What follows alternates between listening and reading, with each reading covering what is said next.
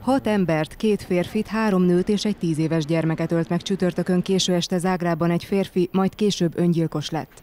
A szomszédok értesítették a rendőrséget új Zágráb egyik csendes kerületében, miután lövéseket hallottak. A házban egy hét hónapos csecsemőt is találtak. A zágrábi rendőrparancsnok elmondta, a gyermeken nem voltak sérülés nyomai, őt biztonságba helyezték. A rendőrség egész éjjel kereste az elkövetőt, végül hajnalban nem messze a helyszíntől meg is találták, de mielőtt még elfoghatták volna, megölte magát.